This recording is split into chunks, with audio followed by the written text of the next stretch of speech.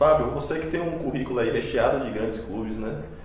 Apesar da sua pouca idade, já com bastante experiência, fala um pouquinho como é que essa experiência sua pode ajudar o Jacuipense aí no Campeonato Baiano. Primeiramente, boa tarde. É, graças a Deus eu tive o privilégio de jogar em grandes clubes, ter grandes conquistas, é, adquirir experiência ao longo do tempo. E eu, eu tenho um perfil que é de ajudar, de chegar, de cobrar as coisas, de ser um líder dentro e fora de campo. Eu acho que eu posso ajudar dessa maneira. É, como é que foi a preparação aí de, de pré-temporada, né? Você se, tem, se sente pronto já para a estreia?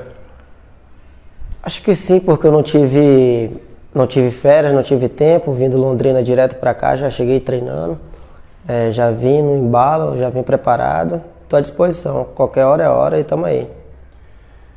Você falou um pouquinho né, de suas características, mas se apresenta mais para a torcida do Jacuipense, né? O que, é que eles podem esperar de Fábio Matos? Pode esperar que vai ser um cara que vai se doar 100% dentro de campo, vai, vai dar a vida independente de qualquer jogo.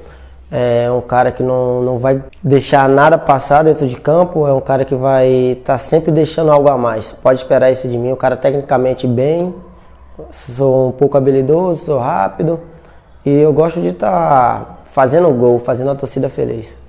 Você chega para jogar junto a um, um, grupo né, que já vem jogando junto também há um bom tempo. Você acha que isso pode ser um diferencial para a equipe?